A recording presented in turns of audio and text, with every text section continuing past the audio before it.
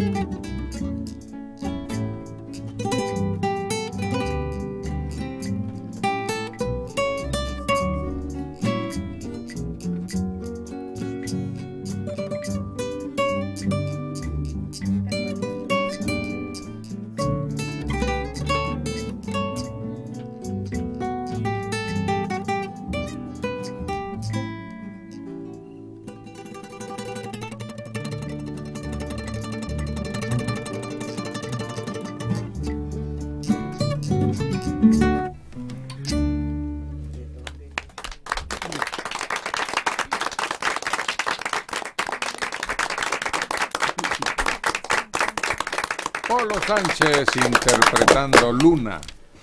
Y Sol. Luna de miel. Ah. ¿O los dos? ¿Cómo se llama? Los dos, los dos. ¿Los dos? Sí, mucha gente se le dice así, ¿verdad? Esa Ah. canción de Luna de Miel. Yo creía.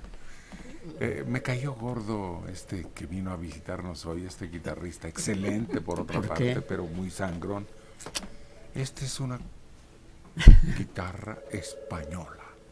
Como si no hiciéramos aquí guitarras de excelente calidad. Buenísimas. Sí. Buenísimas. Y, y si toca tanto de la revolución y de la música ¿Por mexicana. qué guitarra española? ¿Por qué guitarra española?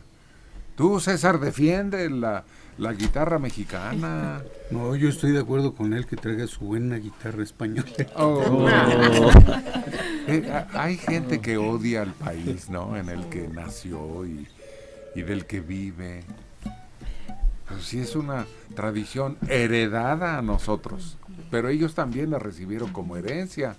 Tampoco ahí tiene su cuna la guitarra. En México hay una, una tradición de laudería, que es el arte de construir guitarras y violines, pero de mucho tiempo y la calidad es comparable con la que me pongas adelante.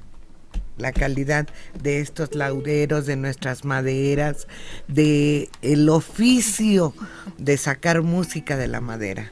Y a donde vaya, pues él dice que siempre anda de gira por todo el mundo, pues que presuman una guitarra mexicana. Si le preguntan, ¿usted es mexicano? ¿De dónde es su guitarra? Pues española. Oye, esas personas son las que se les llama malinchistas, ¿no? Pues sí. Sí, sí, sí. Se hincan ante el extranjero, igual que el menso de César. Ya ves que ahí va luego, luego a decir, sí. Yo, yo creo que la guitarra mexicana pues, no es cosa nomás de tocarla, saber a tocar. Si el señor toca bien, pues cualquier guitarra, no es necesario que sea española. Cualquier guitarra mexicana y más la de Paracho. Ahí hay unas guitarras, ah, qué buena. El otro día me regalaron una de Paracho. Y este, nomás que hay que saberla tocar. ¿Y qué te pidieron a cambio? Nada. Ah, no te hagas. Nada. Ah, está bien, oye. Pues es que es un familiar que vive por ahí. Ah, vaya. Sí. Yo creía que era alguien con un interés malsano. No.